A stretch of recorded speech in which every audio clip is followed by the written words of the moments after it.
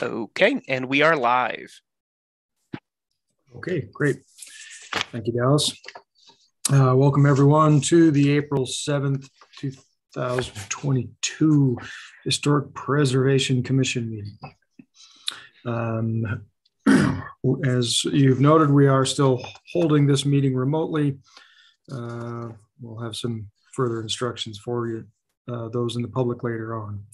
Let's go ahead. Uh, we'll call the meeting to order. And can we, uh, Ms. Hills, can we have the roll, please? Chairman Lane, Here. Commissioner Hardees,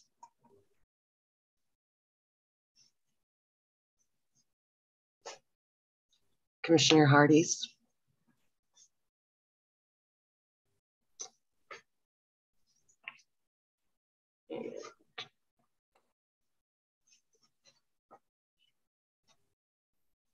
you may not be able to hear. Commissioner Hardees, if you're uh, there, I'm asking you to unmute, um, but perhaps walked away for a moment. Right.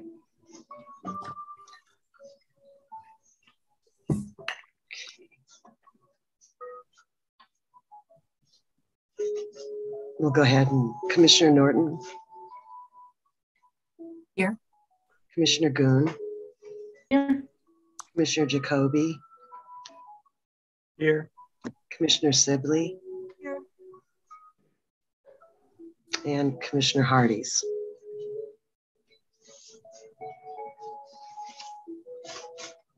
I guess we'll note that Commissioner Hardees appears to be on his way into the portal, but hasn't formally arrived.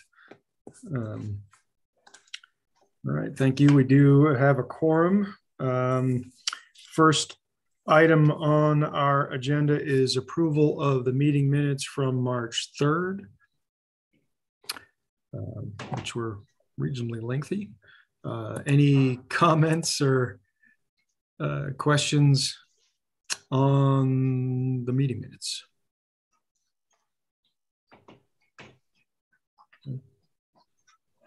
Um, okay, uh, I only have one brief comment, and somewhere in here uh, it was noted uh, that I was trying to get the um, uh, historic preservation conference session that I attended on that uh, demolition uh, ordinance. Um, kind of deconstruction ordinance shared. Uh, at the moment, all I can do is go back in and watch it uh, through my own login. So I've asked, uh, I sent a note to Historic Preservation Inc. Uh, down in Denver to see if there's a way we can share that and package it to everyone. So I think that would be useful. Uh, so that's still in process. All right. if there are no comments or corrections, I'll entertain a motion. Um, I'll move to accept the minutes from April, um, from March of 2022. And I'll second them. Okay, thank you. I have a motion to approve the minutes from Commissioner Norton, seconded by Commissioner Goon. Um, and uh, Ms. Yosef, you would call the roll for us. Uh, Chairman Lane, Approved, yes. try Commissioner Hardees. Commissioner Norton, Yes. Commissioner Goon, Yes, approved. Commissioner Jacoby, Approved. Commissioner Sibley. Approved. Okay, great. Thanks. We have the unanimous approval of the March 3rd minutes. For the package, uh, let's see. So then we have a report, uh, let's see. Um, report from the chair. So this is again, my opportunity to tell anyone out there uh, that we will have a uh, public invited to be heard and um, potentially public hearing during that time. Um, this will information will pop up on your screen, and uh, you can call in using the number and the meeting ID um, at that time, and we'll call on you once we're back live. Uh, comments are limited to three minutes for these sessions, and uh, we do ask that you state your name and address for the record prior, prior to proceeding with your comments. And remember to mute the live stream so that we don't get nasty feedback. All right. Thank you. Uh, let's see. Next is communications from staff liaison. Um, Leonard Schumacher, do you have some information for us? Uh, Well, actually, good Before afternoon, you do that, let me just note, uh, sorry, Brian, uh, That's can I fine. just, just note that um, uh, Commissioner Hardy's uh, has arrived. Yeah, sorry about that. My computer froze and had to do some gymnastics. No, no worries. Welcome. We assume that, we hope that you didn't have any objection to the meeting minutes because we approved them. Nope, that sounds good to me. Okay, great. Too late anyway. That's right. All right, Ryan. All right. Well, I'll be brief, uh, since most of the items that we're planning to talk about are covered on the agenda items. There's just one item that I was going to remind the commission of, and I think I sent a kind of a list of webinars that are hosted by History Colorado a little while, maybe last month. There's one coming up on April 20th note, and I tried to send out another email just with a reminder. It's regarding reservation loans. Uh, again, it's April 20th over the lunch hour. So I encourage uh, commissioners who are interested in that to, to participate. It's a good training session for, for everybody on the commission. So, and that's all I have for, for right now. Okay, thanks, Brian. Uh, You, you were busy last month. This is a, this is a, um, today, the, the packet for today's meeting was um, one of those careful what you ask for kind of scenarios. But but I appreciate all the work you put in. Uh, Sure. All right. um, Let's see. So this uh, now is our uh, public invited to be heard portion of the meeting. This would be for anything that is not on the agenda. If there's anyone out there that would like to comment um, to the commission, again, for something not on the agenda, please go ahead and dial in now using the toll-free number, enter the meeting ID number, and press pound, and then we'll, we'll call on you based on your phone number to um, uh, give you your three minutes. And uh, so at the moment, we'll take a five-minute break while we wait to see if anyone calls in. Uh, And during that time, commissioners can mute and turn off their video feeds. Thanks.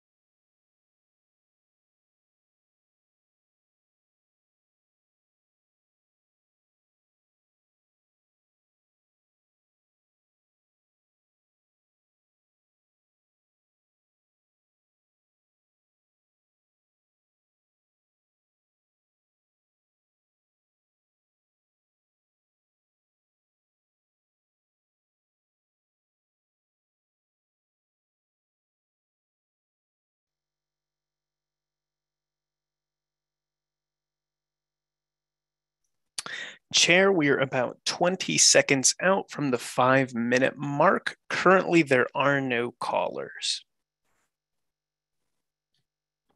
Okay, thanks. No problem. Once I see the commission returns, I will confirm if we have any more callers.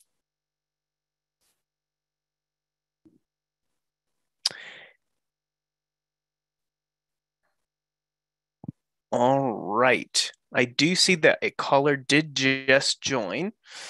So in that case, if you're ready, we can start this off. Okay, uh, let's see. Commissioners, you want to uh, get back online here?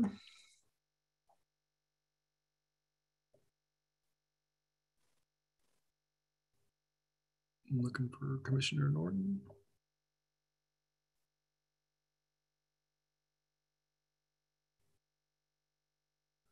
I'd like to wait a couple seconds here, just see if Commissioner Norton gets back with us before Sure. we start with the public comment.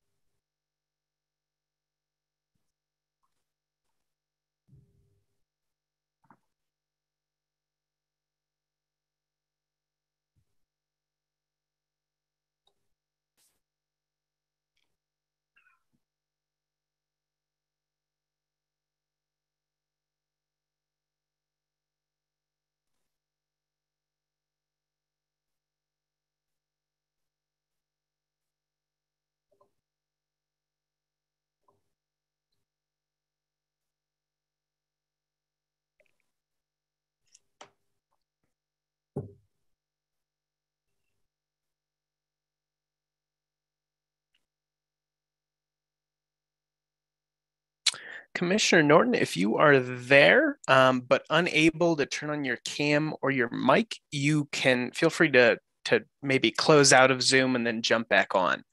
Um, otherwise, uh, yeah, I'm I'm pinging to start video, but think there might be something on their end. Okay. Okay. Well, uh, I guess we'll move forward with the uh, uh, public invited to be heard portion of the meeting, and hopefully Commissioner Norton can uh, either hear us or get back in uh, to the meeting. So um, again, uh, Sure. yes, Yeah, in that case. I can start with our caller. Caller with the last three digits 414. Caller 414.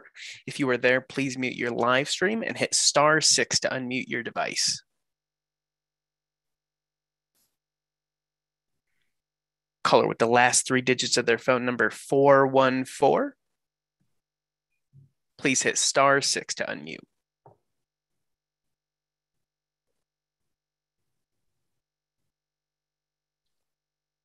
Oh, I saw you unmute and then go back to mute. Uh, try one more time, hitting star six.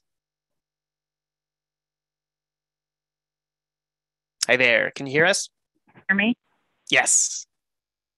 All righty. Uh, uh, Do I begin? I don't see anyone on screen. Uh, Yes, if you would uh, please state your name and address, and then uh, you have three minutes uh, for comments to the commission. Welcome and thank you. Okay, thank you, Commission. Um, This is Sharon O'Leary, 534 Emery Street, co-chair of Historic Eastside Neighborhood. Uh, Historic Preservation Commission, we're now moving into the second quarter of 2022. And where are you? And where are we headed? Where are you headed? Um, have you developed a work plan which you can move forward on for Longmont? Um, have you looked into updating the demolition code? Could you make motions so that items move to the next level? As I've attended these meetings the last two years, um, motions aren't made. And to me, when I've served on boards, once a motion is made, seconded, and then there's discussion, typically that gets it moving along. So um, may I suggest that as um, commission members that you make motions to move things forward so it does get on a timeline. Um, I know that um, right now, as we enter the second um, quarter of the year, we're supposed to be getting the status on planning and creating guidelines for preservation. Where are we with that? I mean, I know it's just the beginning of the second quarter, but uh, the wheels of bureaucracy move very slowly.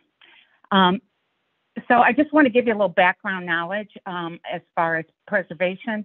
The historic west side's already been partially dismantled just due to the past 30 years of their zoning being significantly different than that of the historic east side.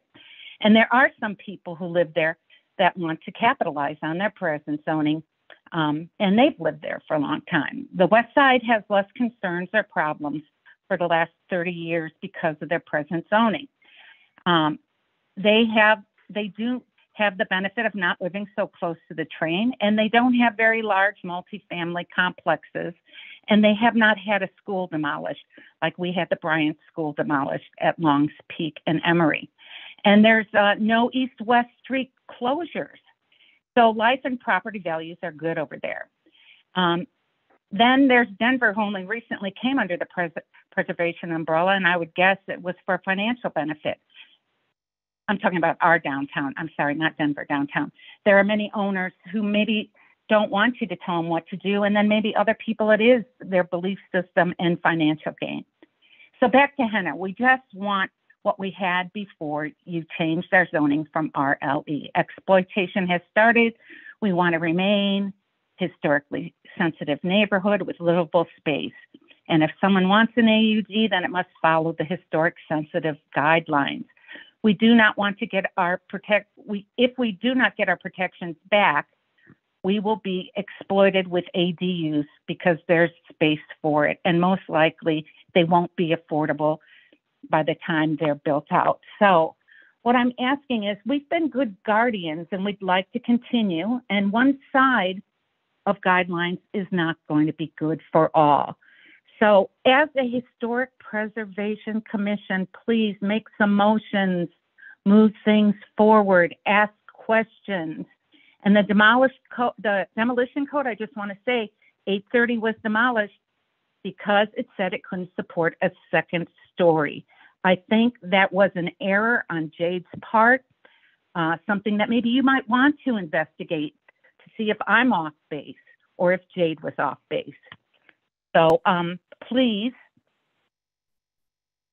hurry up. Thank you. I appreciate your time and dedication. Thank you for your comments. All right, that was the only caller we had. Was that correct? That is correct. Okay, we'll go ahead and close the public invited to be heard portion of our hearing and move on to the next item, which is prior business.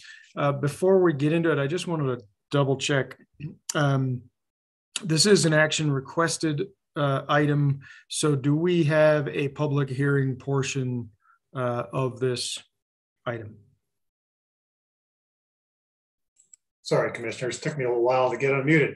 Um, no, we do not. Uh, this is not a, uh, a, formal hearing item that requires a public hearing. Uh, it's basically a recommendation from the commission on the uh, condition of approval that was approved by both Plan and Zoning Commission and City Council.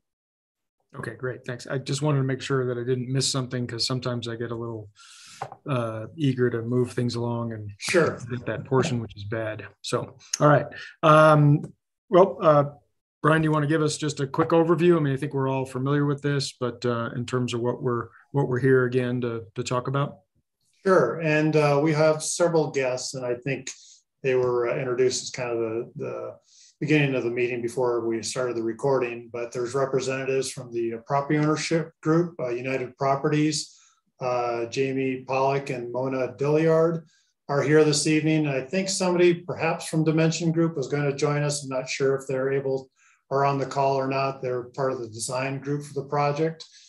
Um, and um, included in your packet was some background information regarding uh, conversations that the commission had on this topic.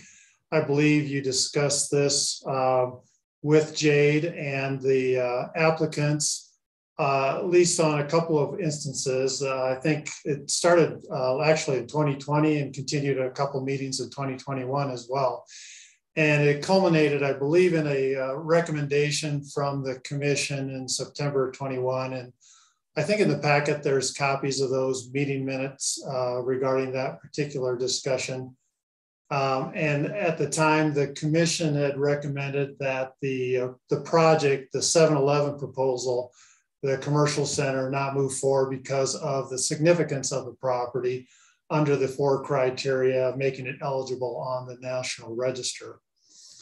So you, the commission's recommendation was forwarded on to the Plan Zoning Commission uh, when they uh, held their public hearing on the uh, rezoning and the overall development plan for the proposal. And as part of that hearing, uh, as noted in the in the communication, the uh, the Plan Zoning Commission included a condition of approval to develop a plan for preservation of the site's history through incorporation of appropriate references to be included with the development of the site. And so that was to be implemented in coordinates with HPC, and that's why we're here this evening, as well as city staff. Uh, the commission's recommendation was forwarded on to city council uh, as part of their deliberation on the item uh, this past winter. I mean, I think it happened in January and February when the uh, hearings were heard with city council.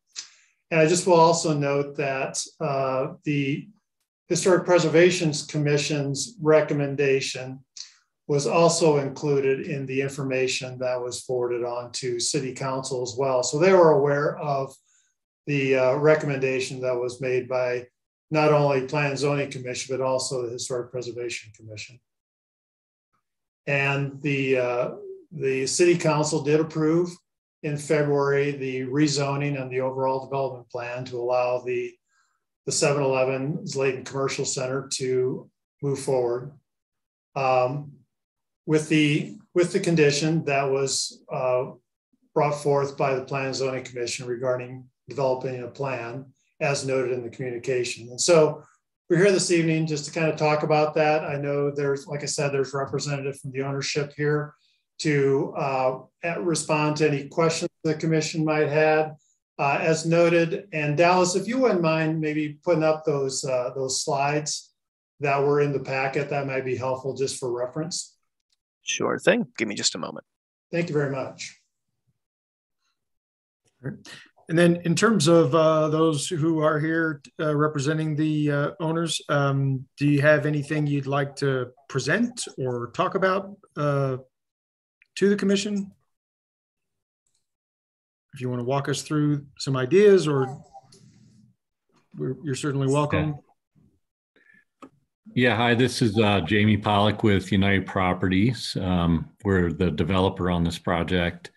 Um, I know that uh, our architect was actually, sorry, I'm starting my video. Sorry, Dallas. Um, our architect was supposed to be on to answer a little bit more, but um, yeah, so I think over time we've kind of played around with some different stuff. We've done some structural integrity um, studies on, on the buildings and, and, the barns and whatnot, and um, those did not come back very favorable. We um, also, we're worried about some of the riffraff that those structures were bringing to the property and whatnot, but uh, very respectful to the history and want to do something here. Um, and I think we kind of came up with a few different ideas here to throw out to you guys um, in regards to, you know, how we could maybe show, you know, the history there. And is there, I think, is the next slide showing one of them? So this is just the project um, where the project lays there on 119th and Slayton. And then if you could keep going um, to the next slide. And if I could maybe just, sorry, Jamie, for, for interrupting, if I could just interject. I know that yeah. there is a note on here about the, uh, the floodplain. And there is a local floodplain. Uh, it's not a FEMA recognized floodplain. So um, you know, in terms of the process, there'd still be a process in terms of reviewing any modifications to the barn, um, but it wouldn't have necessarily have to go through FEMA. So, FEMA. so that, I just wanted to clarify that because I talked to our floodplain administrator today about that. Good. Thanks, Brian. Um, so that, yeah, so he, I guess Brian hit on the floodplain. Can you go to the next slide, please? See here. Again, I think this is slide here is just showing those existing buildings and the condition of those buildings um, as we walk through them. And uh, again, a little bit, you know, of our concerns with the structural integrity there, I thinking there was a whole lot of money to restore those buildings. I think if we keep going, we can get to the slides that show what we were proposing for. I think this is the start. Yeah. Okay. okay. This is the start of it. Okay. All right. So I, I think one of the, the ideas here was to do some kind of um, concrete patches to show where where the buildings were. Um, there was just a different ar- architectural idea from our architect um, to kind of, you know, it, within the paving, show where those buildings were. To basically make it like a different color. Yeah. So in the in the I think the proposal, as I'm reading it, in the area where there's pavement, there's uh, a different uh, contrasting material, perhaps, or color the location of the structures that are, are being removed in those particular locations. And then for the other buildings that are kind of outside of the construction footprint, such as the barn and a couple of the other outbuildings, I think the proposal was to do a uh, maybe a couple foot tall uh, kind of concrete foundation to show where the uh, the buildings uh, resided. Correct. I think, um, can you move to the next slide there? So this shows that a little bit different for, for everybody there, just some ideas on how that, that would show. Okay, uh, see uh, Commissioner Norton's got her hand raised. Uh, did you have a question about that specifically you wanted to? Yeah, I have several questions about this. Um, Okay. First of all, About this particular, I, I want to make sure. Yeah. about about the concrete Okay, specifically. Okay. Um, I'm sure I'll have questions about all of the the proposals. Um, I think you know one of my first questions is really about how. So thinking about how a convenience store like this, what kind of traffic and how people use it. Um, you know, how would people be directed out to the concrete pad structures that are outside of that parking area? What is the plan for long term maintenance of that? Like, what does that look like with the longevity of the concrete? And then this site, one of the criteria under which it is eligible is D, which is an archaeological criteria because of the data potential.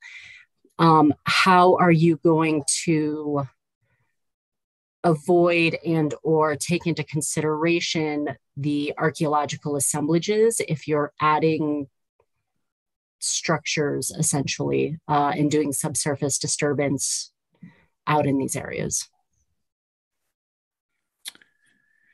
Uh, again, my, my architect is not here.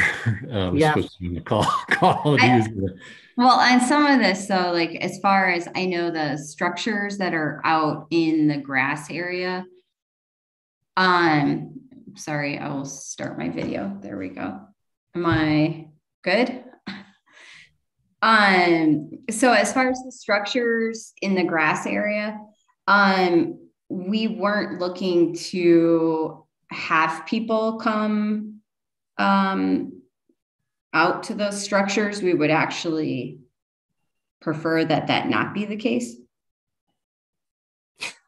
then what is the utility and how are we uh, educating the public about the history of the site through these structures Um, well, on one of our future slides, we were proposing um, to do more of an information panel on uh, the trail that's going to be in that Greenway Trail. Um, so we were proposing that with information, and we had also talked with Brian about uh, even putting some kind of, you know, if some kind of monument or something that uh, offered some information. We've talked, I think, as far as information giving um, the public, it goes into probably more on the rest of our presentation here, but um, our architect was also looking Right. at doing something on the screens inside the store, on the monitors, the TV monitors that give info. Um, so we were Yes. we're just kind of looking for your guys' ideas and suggestions on that. Um, we were just throwing out a variety of ideas. So I'm asking specifically on this idea, just on mm-hmm. number one for installing custom concrete outlines depicting the existing foundation locations. What is the utility if we don't intend having the public actually see and visit those? Show where the barn was. But if you don't want the public out there, how are they going to see where the barn was? Well, it would be a raised surface so that they could see it from the paved area. I I think it might be helpful to, to let um, you guys run through the rest of the ideas and then maybe we um, continue the discussion. Yeah, and, and I think again, this is a, an open discussion. Um, you know, we we want the input from you guys. We just came up with alternatives. We wanted you to know that we were thinking about it and we're open to suggestions from from there. So next next slide. So we did we discussed uh, you know putting a, mur- a mural on the building, uh, something that we have done in some other locations of ours um, around in different cities and whatnot. Um, and so we had just kind of it's something that would be painted more or less on the side of the, the building there. Um, and we just put those pictures below, like, you know, basically showing the representation of the barns and whatnot. So that was just a different, different idea.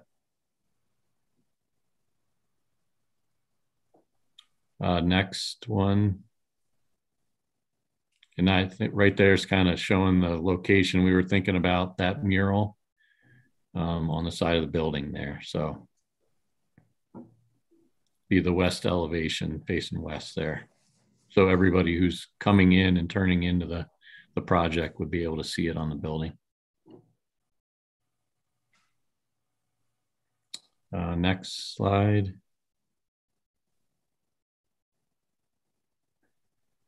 So this is what Mona was talking about a little bit there about the TVs that would could be mounted within in the store that um, you know basically would be more or less a rotating video of different pictures. And um, if people are visiting the store they would see the historic meaning of of the site there. Just so just a different idea of things that have been done in the past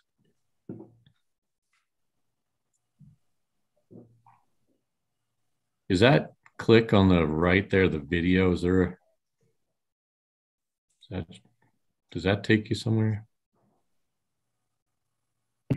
Um, it looks like it. I can mess around with it, but I didn't realize there was a video attached. So if it is something that needs downloaded, that'll take a second. Mona, is there a video on there? Um, I t- I don't know that. Um, I don't know. Yeah, there, there's a video link embedded in there. Um, Dallas, I don't know if you can have access to that or it's a couple minute video and I don't know if any of the other, the commissioners were able to access that online. Um, I also, I also have it. It wouldn't work. So Yeah. I do. Yeah, there's a link that, um, or sorry, there's a, I do not have permission to open the video link.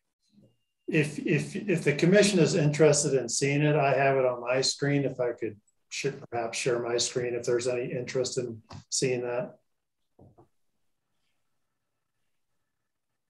yeah, let's do that if we can. Dallas, is it okay if I share my screen? Go ahead. Yeah. Assuming I get the right one.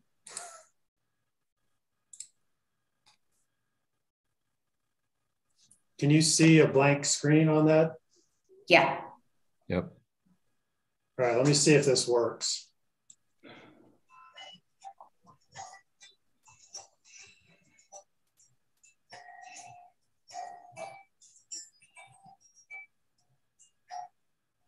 Brian, if there's audio attached to it, um, we're hearing it through your speakers and not through the actual video.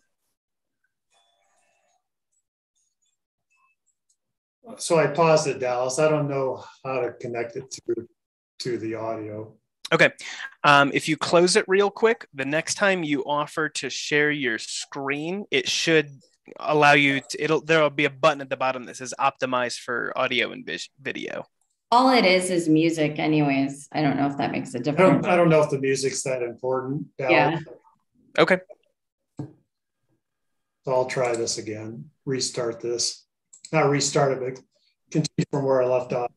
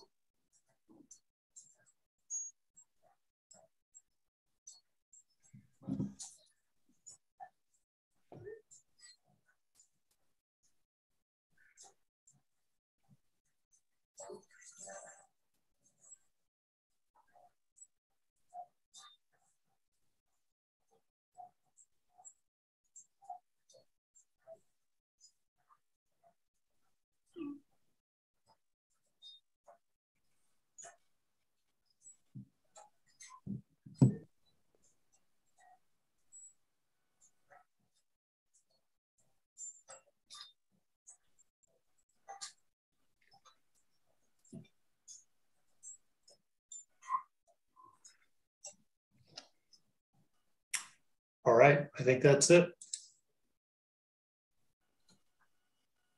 Thanks, Brian.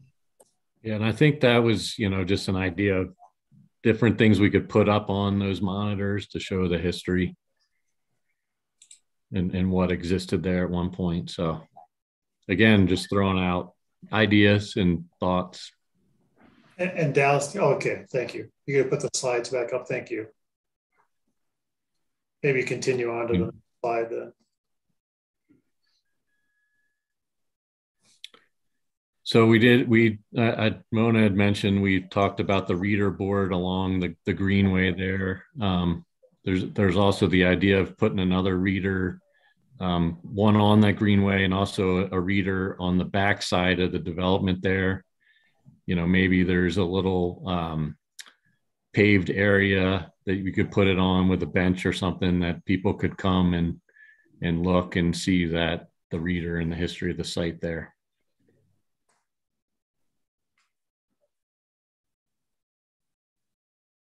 And I, I, think as notes on the side there, but we um, we are making a contribution through the development um, of 140,000 towards the greenway improvements. So I think that would be part of that.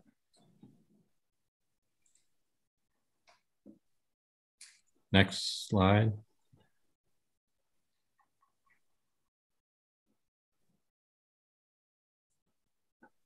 So again, that's showing that reader board in the backside of the property there, um, where we could do a little, you know, a landscaped area um, that that people could visit to see the history of it.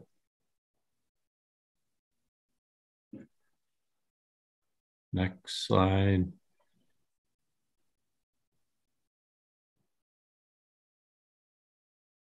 I believe that is all I've got. That might have been it. Yeah. Okay, thanks. Um, I guess I have I have one quick question for you. Uh, in your mind, um, is this something where you may be willing to do more than one of these, or is this an either or uh, kind of scenario from your perspective? What's what's your approach here? Yeah, I think we're kind of just open to to feedback here and what what you guys are looking for. Um, yeah, we're open to discussion. Obviously, financial impact um, affects the feasibility of the project, but I, I don't think we're talking about anything real crazy here. So, okay. Uh, other commissioners have uh, questions or comments you'd like to put out there? Yeah, Commissioner Jacoby. There we go. Can you, you can hear me? Um, I, I, like the idea of the mural. Um, TV monitor, maybe showing videos would maybe be nice as well, but I, I don't think we have to show collapsed buildings. I think you could show a lot more of the agrarian side of what some of what it looked like before. Um, I'm a little, I, would like clarification on no improvements may be allowed in a floodplain. I'm looking at that barn and it's outside of your development, proposed development. The ridge line is arrow straight. It looks structurally sound. I realize it doesn't meet code, and to meet code would be expensive and unfeasible since it's in the floodplain, although it looks like it's the same elevation as the house and where you plan to develop. It's very close. Um, certainly, the barn has stood for over 100 years. Um, I think it's pretty safe. Um, without doing improvements, just preservation of the barn, I think would be feasible and maybe uh, more appropriate, uh, would be more dramatic for individuals coming to see the history of the property. And I wonder if you considered that. So I, would like, I'd love to see the barn preserved, uh, maybe with a plaque out there. That would give it, and it has some, again, floodplains, open space around that. That would give more a feeling of the barn and the farm I think, than outlines in the pavement. And I wonder if that would be something feasible, something you could think about.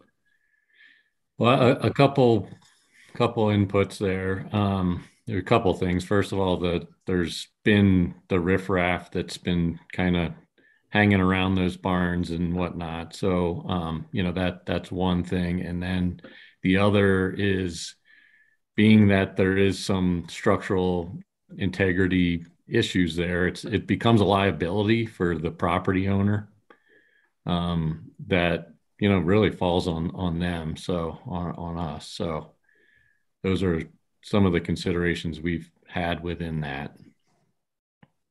I can speak a little bit to again. You talk about the riffraff. Um, appropriate use discourages inappropriate use. I've seen that in some local parks here. Um, and I think you would see the same thing with a barn. I don't think you would have riffraff nearly as much of a problem with uh, riffraff when you have traffic going in and out of a 7-Eleven all the time.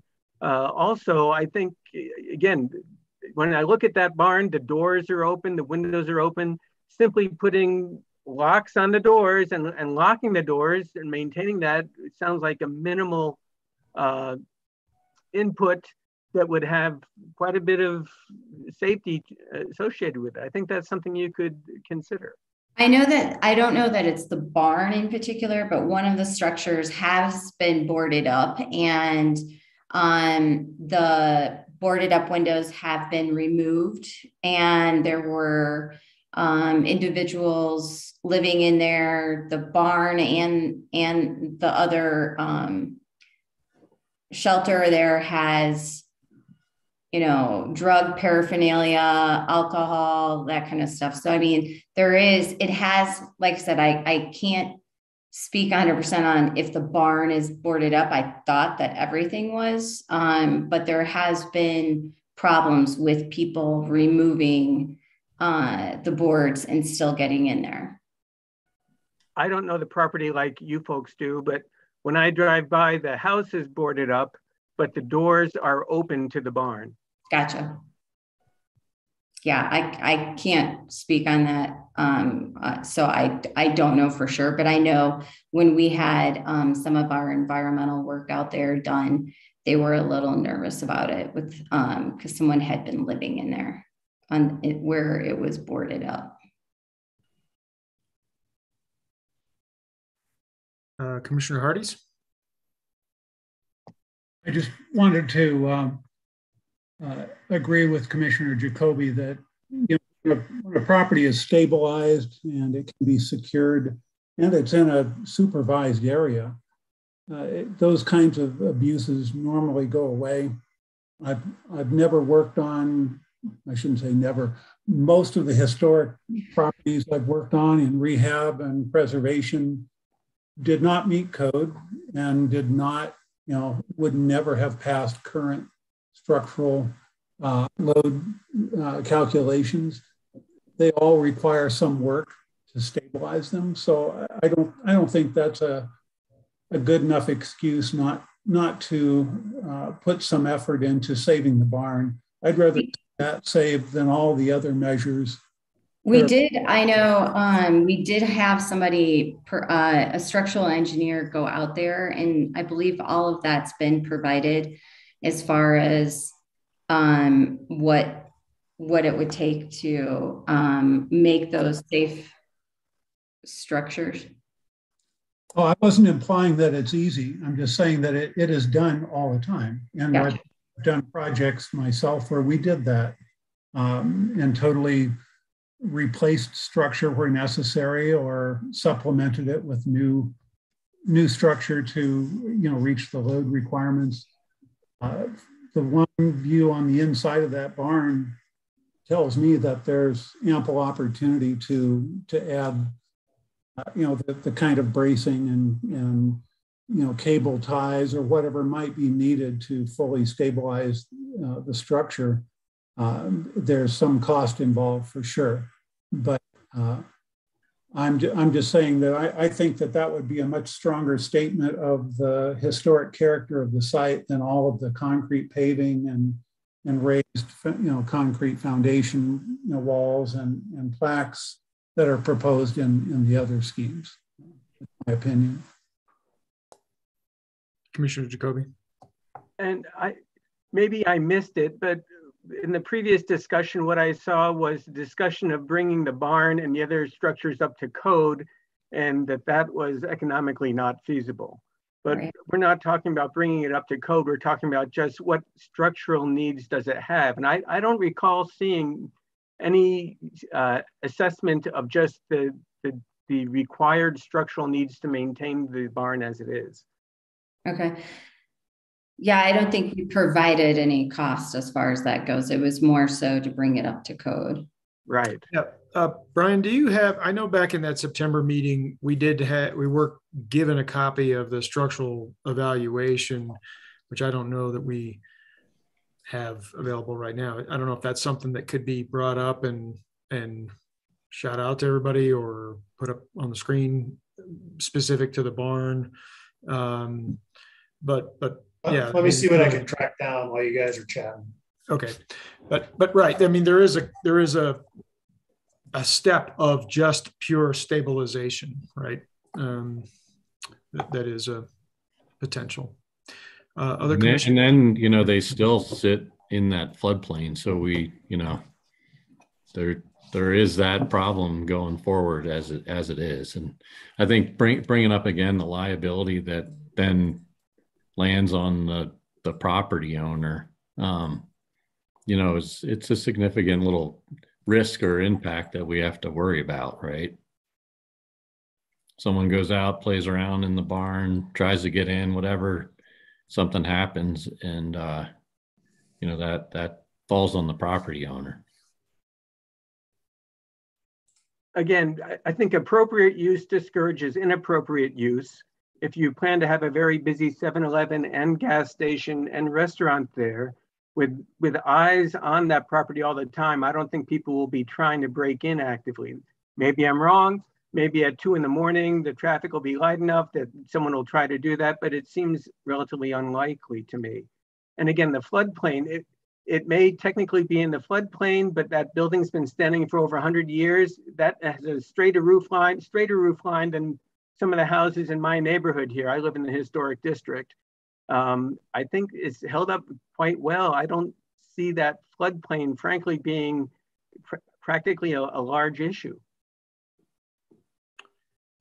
Well, uh, it, yeah. it, does sit on the it sits on the greenway, so you know I think that's where you know some of that might drift in and um, it, it is going to be a building out there by itself i, I don't know I, I do worry i, I still worry about it uh, so i would sorry uh, Commissioner, Sorry. just one second, and I'll, and I'll get, give you the floor. Um, can can staff speak to any potential issue with that being just stabilized in the floodplain? Would that present a problem on its you know by itself or not? Yeah, I, I mean, I can talk briefly about it. Obviously, I'm not a floodplain administrator, but I did speak with Monica Bortolini, who is our floodplain administrator. And as I mentioned earlier in the discussion, it is not a FEMA mapped floodplain, it's a local floodplain. So there's more discretion in terms of what the city can or cannot require uh, in terms of uh, requirements. Um, I think if, if the intent was to do substantial changes to the structure, then most likely or might need to be ra- raised out of the floodplain. But if it's just stabilizing, I'm guessing that probably wouldn't need to be brought up out of the floodplain. Okay, thanks. So uh, I was able to find the uh, structural assessment from the September meeting. Um, and it looked like, I, I, don't know, I can bring it up on the screen if you want, but it just said in summary an appropriate budget to upgrade the structure, that's just from a stabilization standpoint, is 75 to $100,000.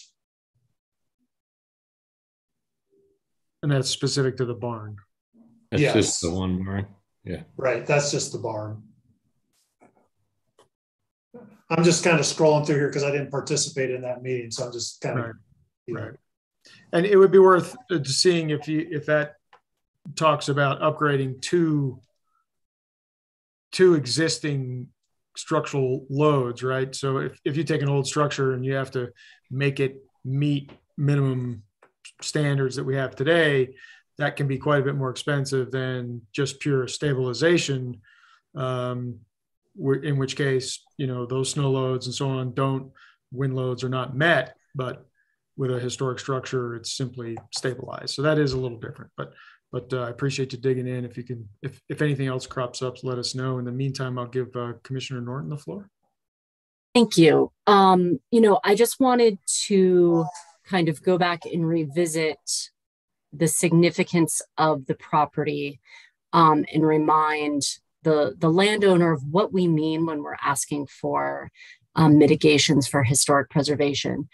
Um, so even here in um, Brian's fantastic memo that is in our packet tonight, you know, it says because the property is significant under all four criteria, it's eligible for the National Register.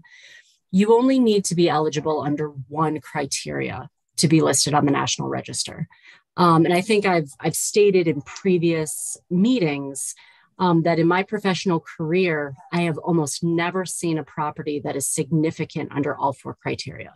So this is an incredibly important property to Longmont and to telling our history. So any mitigation measures that um, the city agrees to should really be in line and scope with that significance.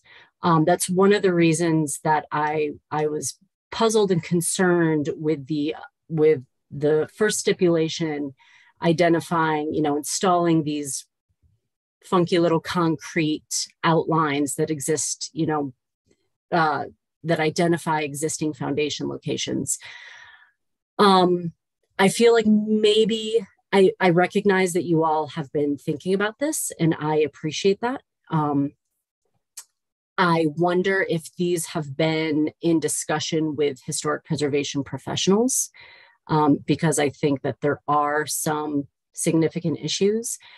Um, and I think that uh, with some of these uh, proposals that might not actually meet historic preservation ideals for preserving important places and important history.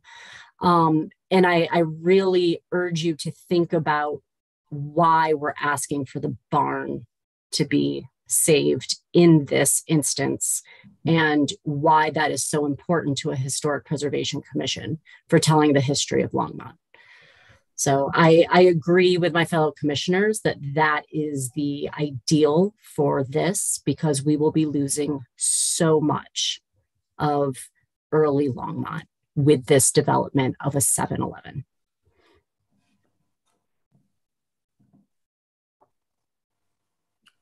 Thanks, Commissioner Norton. Other commissioner comments? Commissioner Jacoby? Um, again, I don't know how much you've pursued the historical aspect as well. I get the sense that you, uh, in developing this property, this has been seen as more of a road bump than an interesting avenue to explore. But if it, again, it may cost $100,000 to stabilize the facility, but the state historical fund can provide up to $50,000 for rehabilitation expenses if, it, if it's approved. And again, if you pursued historic designation for the barn, um, you could get funds perhaps from his, the state historical fund, state tax credits of up 20% uh, to 35% for repairs you know, the system is in place to try to make this easy for you to meet the needs that we see here as the Historical Commission. Thanks. Um, a couple of my comments. I, I actually thought the um, the notion of um, the concrete patterning of the structures that were moved was a was, was a pretty interesting approach. Um, so I didn't have as much of a of an issue with it, understanding that we're not in that particular case getting um, true preservation, that we're at least getting some sort of uh, hint of uh, hint of history there. I, I, didn't mind that. I thought that was an interesting way to um, to approach it. I don't particularly like the mural idea, uh, but I, but I could see you know some combination of that concrete patterning and a video or or signage or something. Um, and if that barn wasn't sitting out there in a in a you know the barn is a bit of an issue because it it's it, everything else in order to do your project needs to get done. I mean those those other structures have to go away and they're in pretty poor shape and i get it. Um, but it's pretty hard to say you know gosh yeah for I mean, if it's 75,000 to bring the building up to code, it's probably less than that to stabilize. If it's $50,000 to stabilize it and you could get a grant from the state historic fund for the $50,000 to stabilize it, um, you know, it, it's a hard sell for us as a commission to say, well, yeah, we'll we'll just let that go uh, because it doesn't. There just doesn't seem to be a reason other than a reluctance and potential i get the potential insurance risk right? Other than that financially i'm not even sure there is a risk. So that's it's it's a pretty hard sell i think here.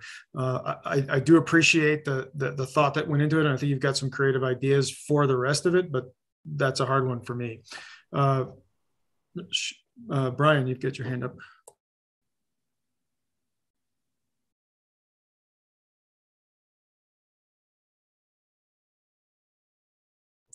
Sorry, I was muted. Um, when I was talking before, um, yeah, this is a very large file for whatever reasons, and it, it was kind of messing up on the screen when I was talking to the commission before. So I'm not sure if I gave you the full flavor in terms of the, the cost estimate that was provided by, in this assessment anyway. Um, so maybe if I, I can't really share that with you because it's such a large document. Uh, I'm happy to uh, put it up on the screen if I can. So bear with me. And I think our architect is trying to join as well, which can also um, provide more info on what they've done to when they went out there and did the structural assessment. So can you all see that on the screen? Yeah. Okay. So, uh, so there's different aspects, and I don't know which components. Obviously, the architects on the commission can certainly provide more feedback regarding this assessment, and I, I'm assuming you had an opportunity to take a look at it at the, uh, the meeting in, in September. There's a discussion, and sorry, I can certainly zoom in on on the screen a little bit there's a discussion about the different components of this building, and one was related to the, the roof. Um, and it talked about some potential repairs. And I don't know if is just to stabilize it or if it's just for additional upgrades that would be needed to make it habitable. Uh, but anyway, uh, I'm not going to read through this, but they, they provided a budget to upgrade the roof of approximately $200,000. I'm, I'm not an architect. I don't know what's all involved with that. If that's in fact just for stabilization or if it's for code upgrades or whatever that might be. Um, and then moving on to the next page, there's uh, talk about uh, some posts that are into the foundation, into the ground, uh, that would need to be uh, analyzed in terms of their load capacity. And I think that's where I saw the 75,000 to $100,000 to upgrade the structure.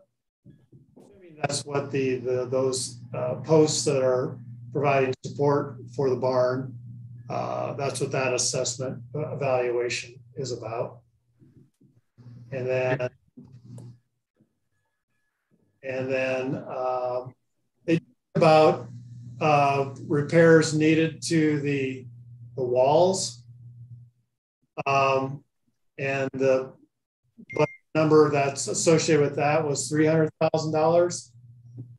Whether that's accurate or not, I, I don't know. Um, and then um, there was some additional second floor images. I think this is that second floor. I think their assessment was that it was second floor of the barn was in pretty good shape. Uh, some they thought some of the beams might be were installed and sized correctly, so that's one good thing.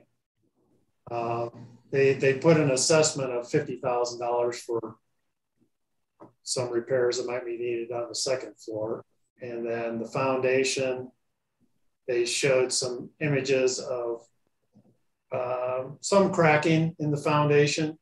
I don't know if that's substantial or not. Uh, so I, I, apologize for my previous comment. They said that the overall, I mean, the, the foundation repairs would be $300,000. Again, I don't know if that's, again, stabilization or bringing it up to code. Their, their preliminary total repair budget to upgrade this structure would be in excess of $1 million and then bring it up and make it habitable would be $2 million. So.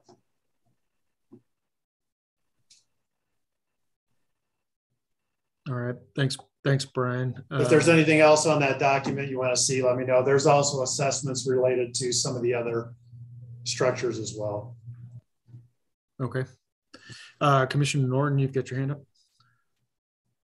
Yeah, I I think what's missing from this conversation about how much it would cost this for-profit company is what this overall project is costing and what the percentage of uh, stabilization of this one structure would be in relationship to that. That that is numbers that I have not seen presented at any point in these conversations. Um, but also, I'm I don't have a lot of sympathy for um, discussing the budget for for 7-Eleven and considering the historic preservation um, in in terms of of that. I'm sure that you will make plenty of money in the times that this 7 Eleven and Laredo Taco are in existence um, on the backs of the loss of our history.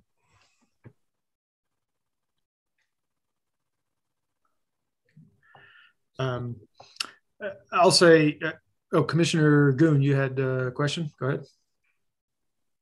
Well, I, I would just say that was pretty harsh. Um, it is a lot of money, and the backs of our history is disappearing every day that that place sits empty. Um, so that is already happening, and it's been happening for the last, I think it was 10 years that that place has been empty and no one has been wanting to purchase it. So I do, I, I, I would ask, it sounds like, I mean, what you were reading, Brian, um, said it was to bring it all to commercial space. So that, that was the very first uh, paragraph that you were showing on that very first page. It said it was to bring it to commercial space.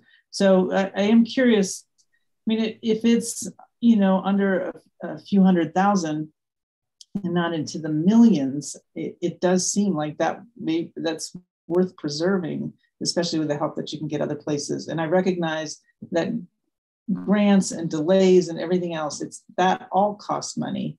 And, um, you know, it, it, all of that stuff costs money as well. And you've already been delayed on this because of, you know, all of the rigmarole that's going through, but it's all part of this major piece of Longmont's history that, um, you know, maybe maybe wasn't taken as seriously as we might have wanted to at the very beginning when you first purchased the place and you didn't realize how deep of a piece of history that is. So it, it, i think it would be helpful to to to get an idea of how that barn could be preserved in a manner that isn't you know isn't costing two million but at least could stand there. And and you know what is the difference in your liability between this insurance and this insurance? That would be worth knowing when you're going forward um, and if, if you need our approval, it sounds like it's past planning and zoning already. It sounds like the city of Longmont has no interest in it, which is odd to me. Maybe they, they could even subsidize some of that insurance as far as that's concerned. But there's other ideas out there um, that you know maybe taken more seriously than than a mural. And I love to read um, the plaques on walks, but it, it doesn't reconstruct. Um, so when you when you do lose a big barn like that, it, that's kind of major. And but we are losing it every day that passes without anything happening. So there's that. Thank you, Commissioner Goon. Uh, Commissioner Sibley.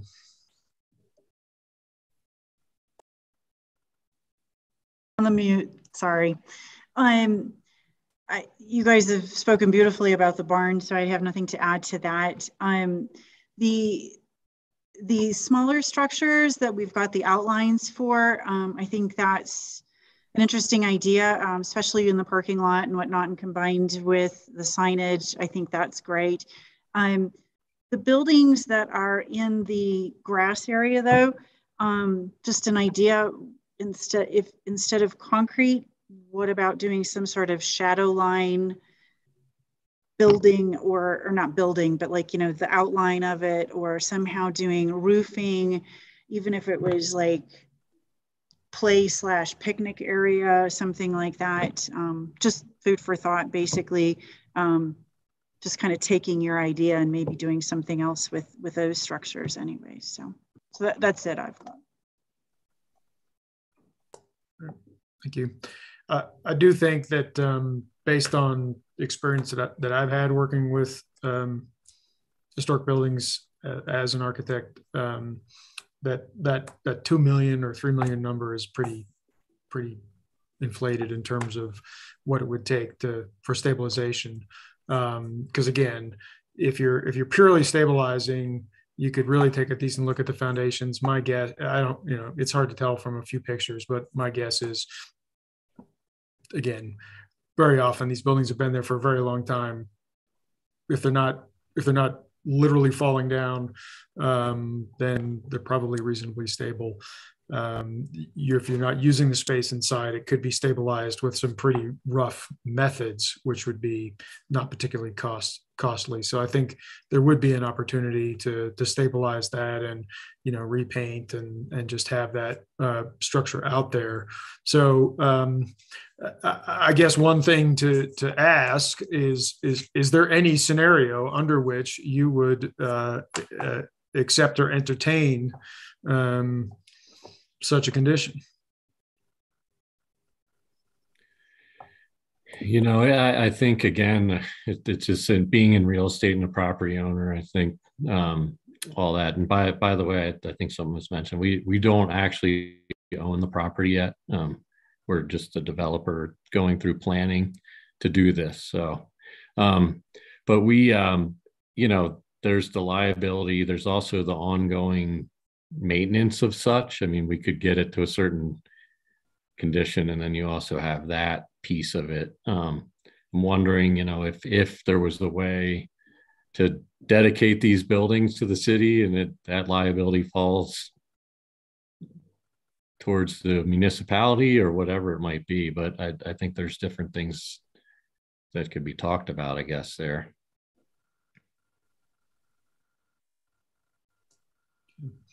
Um, Brian, I'm wondering, uh, you, you know, it feels like obviously the commission's pretty, um, pretty adamant about the barn. If we were to make um, a recommendation to uh, approve, provided that they stabilized the barn and kept that on the property, um, that goes as a recommendation what what happens from there? You know it goes to does it go back to planning? Is this just or p and z? Is this just going to city council to both? Do they take our consideration and maybe if they don't like it the pick from some of i'm just trying to wonder you know a what's our is is it worth giving them a preferred and a secondary option? What's the process from here well, great question, Commissioner Lane. you know, I think uh, depending upon the, the commission's recommendation, uh, you know, I'd have to talk with our staff and maybe legal and and then uh, it, it, may end up since council is the ultimate decision-making body uh, on the uh, approval of the rezoning and the overall development plan. I suspect it would probably uh, end up, unless the, the uh, property owner and applicant agree to the recommendation from the commission, I suspect it would probably end up going back to the council for a final determination. Okay. Um, and just to put it out there, I mean, my, my personal preference would be that there's a way to stabilize the barn. However, if if that was the sole commission recommendation and it got ignored at the end and nothing happened, I think that would be worse. Um, and so I'd be inclined to consider a backup plan at the risk of understanding that that might undermine the former. It's a it's a tough um, position to be in, but um, if there were a backup plan in my mind, it might look something like uh, asking for the, um, the, the outlines. The I, I don't particularly uh, love the mural, but uh, the video and or plaques, uh, and then at an absolute minimum, a deconstruction and salvage of the barn materials, just for discussion.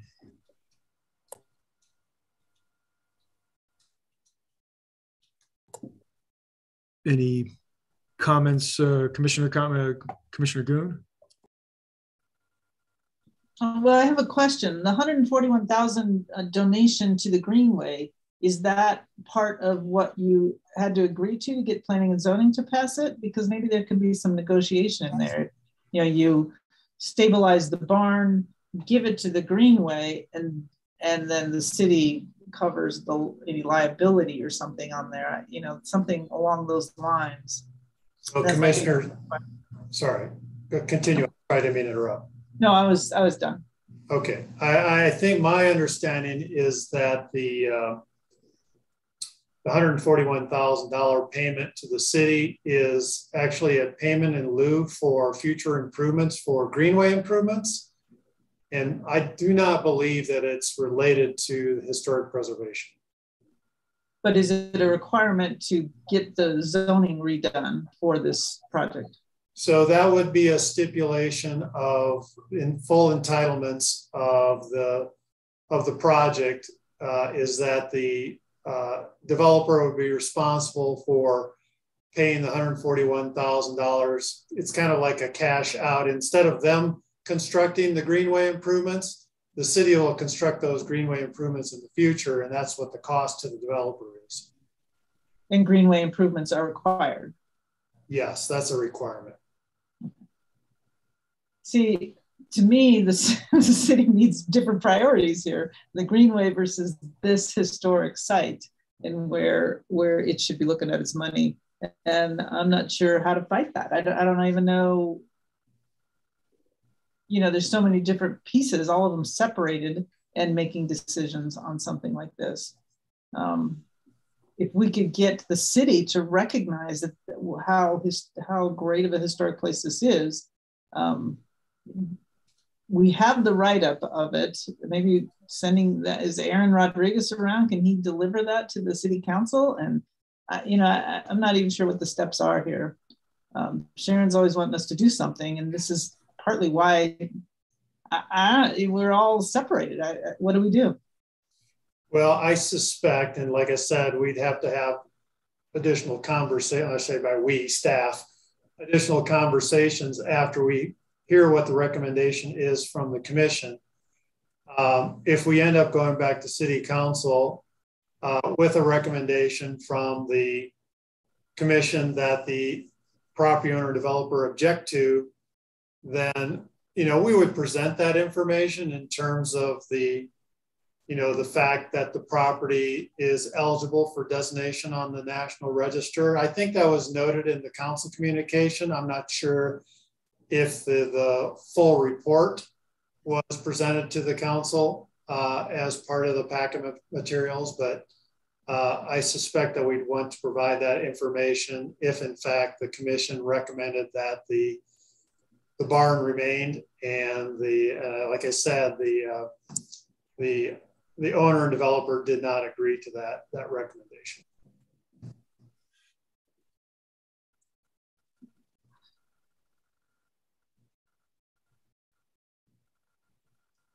Commissioner Jacoby. Um, another thought, again, the city is not interested in the property.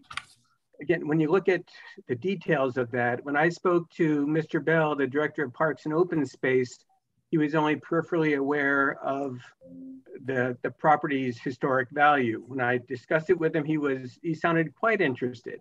And then he dropped it like a lead weight when he heard it would cost millions of dollars literally to upgrade the property. What he, he did not go into the detail that we're going to hear about preservation versus upgrading and improving the property. And he was, we were looking at that time at the whole property as opposed to just the barn. Perhaps it may be beneficial to reapproach uh, Parks and Open Space and say, would you want to take over maintenance of the barn alone um, or take the property on or just take the maintenance of the, of the barn alone on for historic purposes. I mean, I, maintenance, uh, again, Mr. Pollock, you mentioned that you're concerned about that. If we're not using the interior of the barn, maintenance is putting a good roof on it and keeping the paint on it. Um, there's, again, the ongoing maintenance. Um, the cost, his, his, concern and your concern, I imagine, is again, how much is, is this going to be a money pit? I think that the cost of maintain of structurally maintaining it should be reasonable, but we don't know that cost. Again, uh, we just Brian, you went through some of the numbers, but again, you weren't sure if that was for improvements, bringing up to code, or is that just maintenance?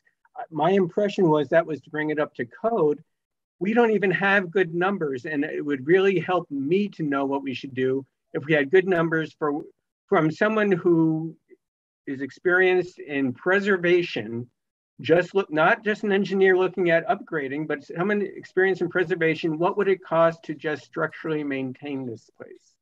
I think that would help all of us to move forward here.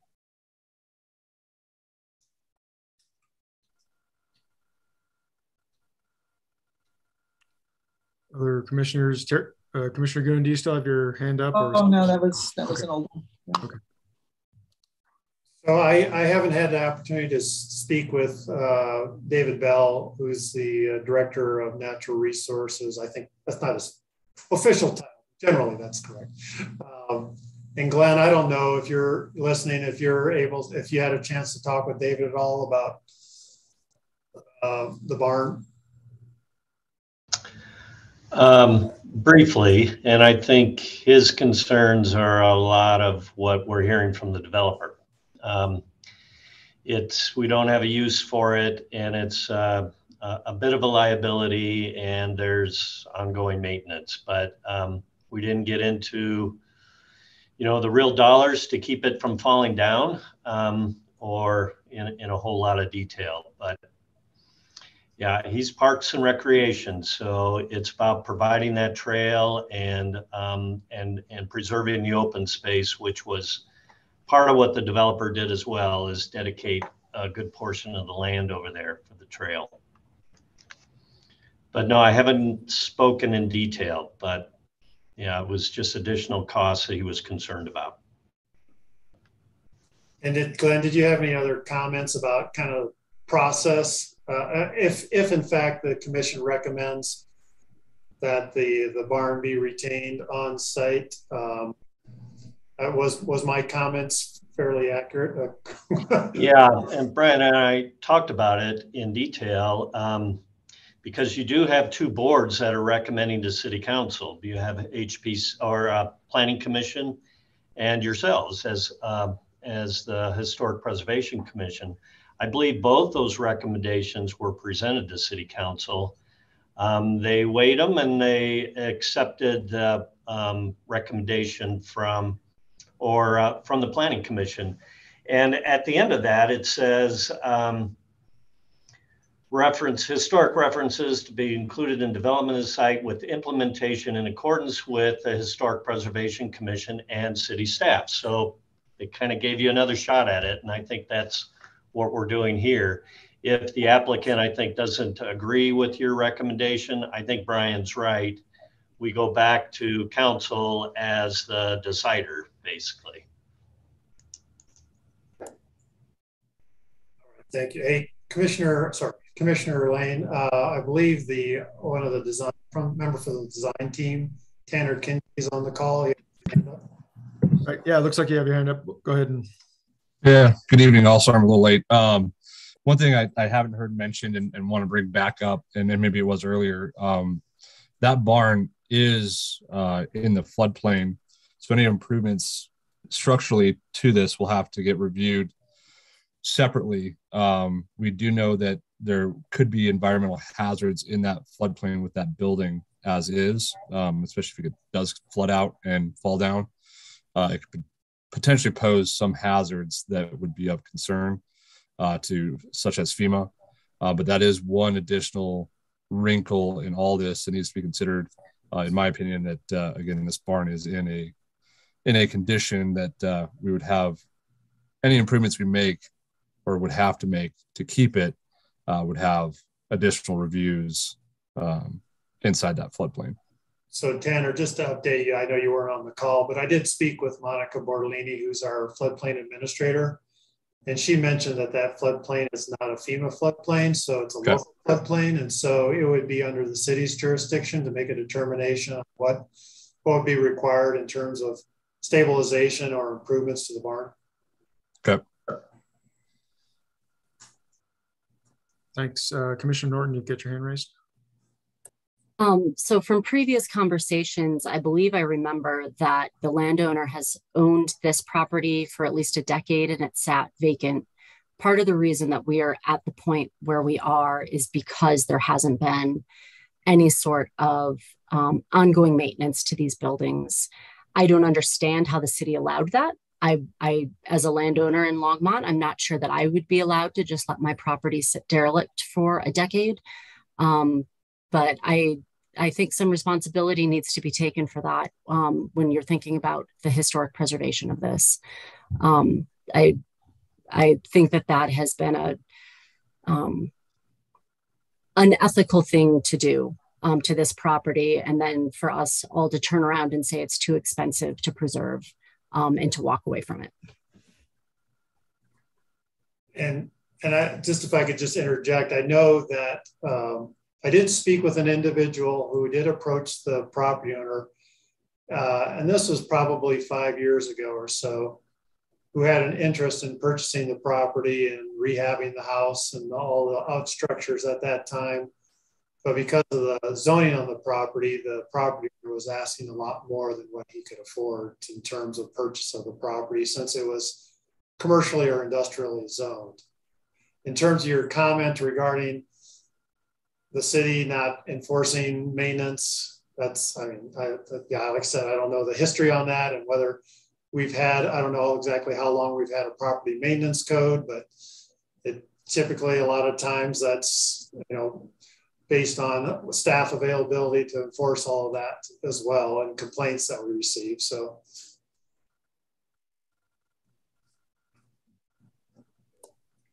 All right, thanks, Brian. Uh, any other questions or comments to be made? Then we are being asked for a recommendation.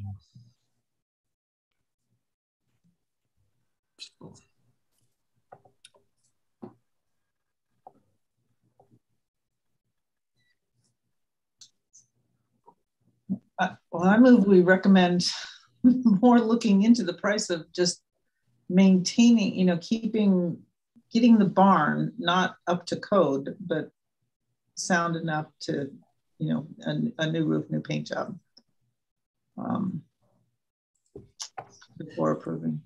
So would that be basically a motion to request the applicant to provide a, a, a structural stabilization cost only yes. and come back to us with, with that information in our next hearing, if that's possible? Yeah.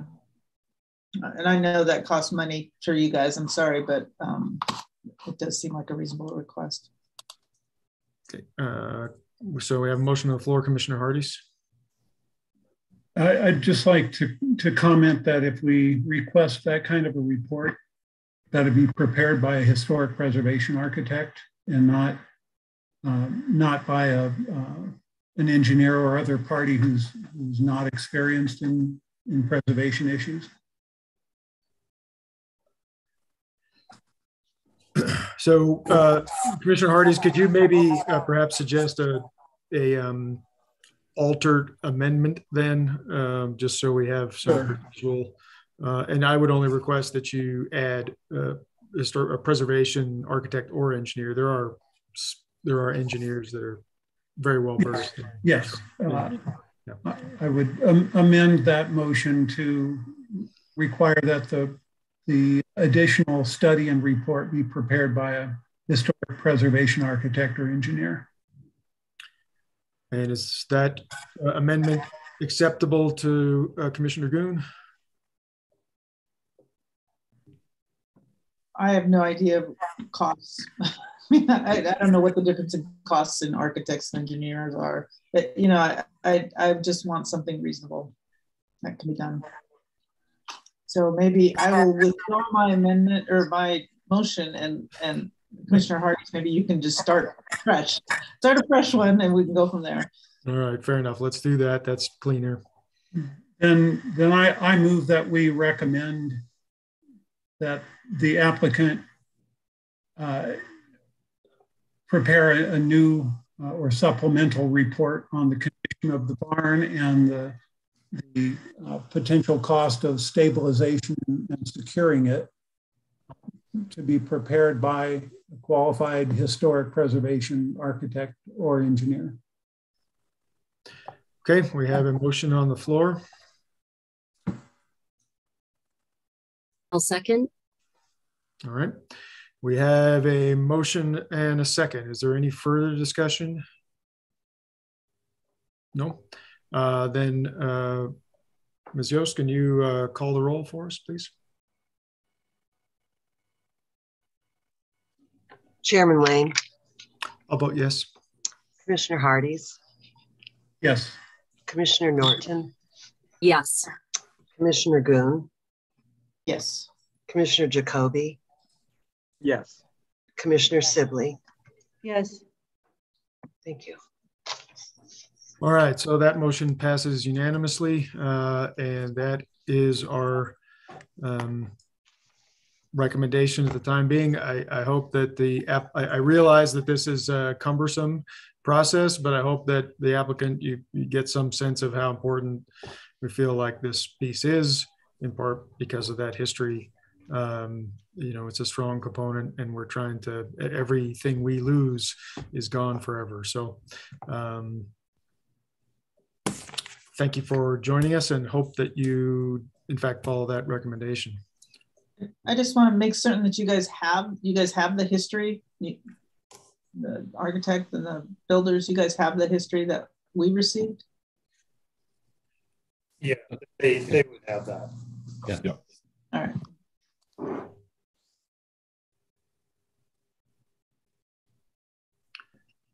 All right, well, then I will uh, go ahead and close uh, that particular agenda item. um, And we'll move on to our next item, which is a series.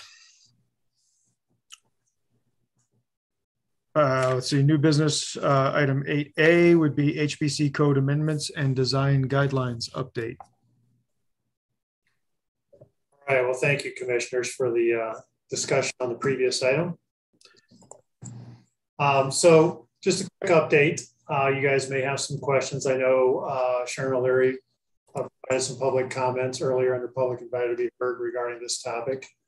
Uh, As mentioned at the uh, last month's meeting, as part of the commission's discussion, uh, the commission removed the, removed, reviewed, sorry, reviewed the uh, HPC retreat minutes from March of 2021. And we continued that discussion in terms of kind of what the commission's priorities and interests were, particularly for this year and kind of going forward. And uh, as noted towards the end of the meeting, and I think they were kind of captured in the, the meeting minutes that you approved earlier uh, during this meeting, was that the, the main priorities obviously are the code amendments, the neighborhood design guidelines, and developing a community historic preservation plan, which preserva- preservation plan is another topic on the agenda. Um, and um, and then there was other things identified as time and staff resources permit. Um, and then also, as I mentioned at last month's meeting, we have hired a consultant to help us with the rewrite of the code amendments. And we did have a conversation regarding a number of topics with the code consultant uh, late last month, a couple of weeks ago. Uh, there's a number of uh, policy topics that I mentioned at last month's meeting that we need to discuss with city council and get, get direction on before we complete the drafting of the, uh, the code amendments. And uh, some of those are outlined in the, uh, in the staff communication. And I'm happy to, if you have any questions about that, happy to chat with you about that. Uh, so our next step, um, obviously we don't have a red line for the commission to review, but we're working on that. Uh, we need to have a discussion with city council regarding uh, certain policy topics to get direction because we don't want to go down a path with the commission and then hear back from the council that, well, we're not interested in considering that. So we'd like to get direction from the council first so we know we're headed down the right path.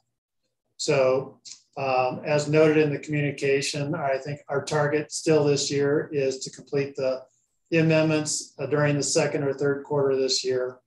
Um, and um, I know we're also going to be talking with the council and getting some direction also regarding um, the design guidelines topic as well in terms of kind of the scope and applicability and um, a variety of different topics related to that. So so that's basically kind of a quick update in a nutshell. I don't know if you have any specific questions or comments at this point in time.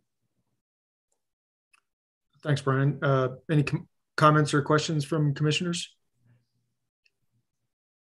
I know I know you're anxious to get moving forward, and I know things were delayed last year, and uh, so we're we're trying to move it forward as as quickly as we can.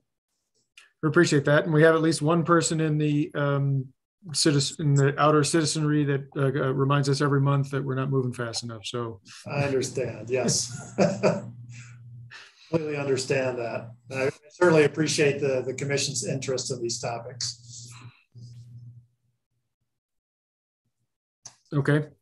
Um, but yeah, if we can just keep getting, you know, an update uh, as to status uh, at every one of these hearings, that would be uh, helpful. Um, sure. Yeah, happy to do that. As we have more information to share, we're certainly willing to share it. Okay. Uh, well, if there are no other comments or questions on that particular item, we'll move on to item B, which is the historic preservation plan. Okay, yeah, and last month we talked about this item as well. And I know um, it's it's one of the uh, one of the priorities for the commission. And I know before Jade left, she had actually been working on a potential grant application. I'm not sure if it was ever submitted uh, for a state historic fund grant. Uh, I saw a draft in one of our folders. Um, I don't know, Holly, if you know if it was ever submitted through the state historic fund grant process. Um, I believe she submitted it to the CLG grant process. Um, oh, okay. and unfortunately, I think it it wasn't chosen. So okay, thank yeah. you. Um, and so what I wanted to do was just have a kind of a brief discussion. I provided some examples that I just ran across it locally uh, with Boulder, Louisville, and Lafayette, uh, which all seemed like uh, you know kind of similar in their scope. Uh, you know, they talk about kind of the community's history and the historic background of the historic preservation program, community outreach efforts related to preservation, and preservation grants, uh, goals and objectives, and then implementation strategies and timelines. Um, I don't know if the commission is aware, but one thing that's pretty uh, Louisville's program is that they actually have a dedicated sales tax, I think of a quarter of a percent for preservation programs. So they've been able, able to utilize that for some uh, pretty neat uh, preservation projects in their community. And so um, just wanted to see if, uh, you know, the examples that I provided in the pack were generally kind of along the lines of what the, the commission was thinking in terms of what our objectives were in terms of a preservation plan for, for Longmont. Right. Uh, thanks eh, thanks for that. I'm i'll have to say i, I wasn't able to spend quite as much time digging through all those uh, it, it, you know in the short time until we got this meeting. Um, i'd like to spend some more time on it and, and maybe have this topic come up on the agenda next month where maybe i'd ask commissioners to really spend a little more time with those plans and and come back with you know maybe a little more specific outline uh, of what you know what we liked and or didn't find appropriate. But but certainly, if there's any immediate comments from from anyone, I'd be happy to open that up now. Yeah, and I think that's a good suggestion, Commissioner Lane. Uh, I know you know obviously you didn't have a lot of time to digest this, and we could certainly bring this back for the May meeting for discussion. Great. Any immediate uh, reaction or comments here? No. So let's do that. Let's let's plan on having uh, this on next month's agenda with, and then I, again, I'd ask uh, commissioners to do a little more deep dive into those three plans provided, and uh, you know, be able to make comments uh, regarding what what we think might be appropriate for for Longmont. Uh, hey, and if, if you might, if I don't mind, I don't mind. I just wanted to. Uh, I should, probably should have just included a link as opposed to all the pages. I don't know what your preference is, and, and uh, rather getting all the documents as part of the packet, or if you prefer just to have a link to the plans. I don't know if you have, care one way or the other. It, it didn't matter to me. Okay.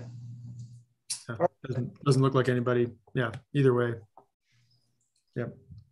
Um, okay, great. Well, that's very helpful. Uh, gives us some some baseline to start with.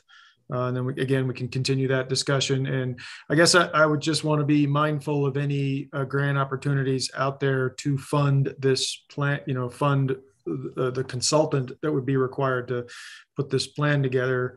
Um, would like to not lose track of, of those opportunities. I think Jade was pretty rushed at the end of uh, last year trying to come up with uh, come up with that, and that may or may not had any effect on whether the fact that we didn't get it. But um, let's just be more aware. And I know we're hoping to put together kind of a schedule of potential available grants that we could share with the commission.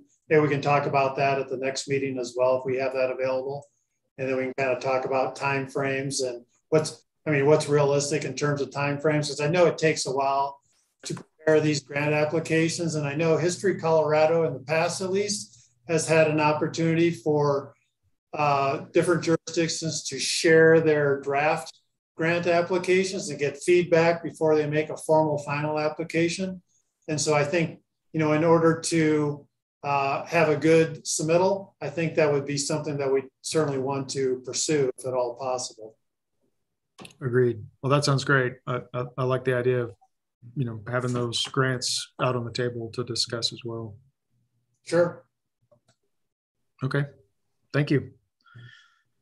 Uh, okay, item C was uh, Historic Preservation Month, which um, is this May. And uh, Brian, you provided a, a, a, memo here for us uh, with some information on the museum staff and, and their plans and um, the Callahan House. At one point, uh, sort of pre-COVID, we had talked about getting this commission to get a little tour of the Callahan House. So I don't know if that's still something that's people are interested in or or what. But yeah, let's. Is there anything you want to just kind of overview us on on uh, on the Preservation Month? Yeah, I'll be quick on this. Like as mentioned in the communication, typically we do a proclamation with City Council uh, regarding Historic Preservation Month.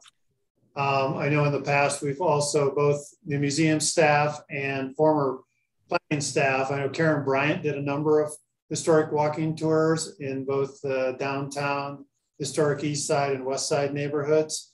And then Eric Mason, who's the curator at the museum, has also done the walking tours as well. And I, he has some planned for this June. There's none currently planned for May, uh, but uh, there are several that are planned for uh, the month of June, including the downtown area, as well as the historic corridor along Third Avenue.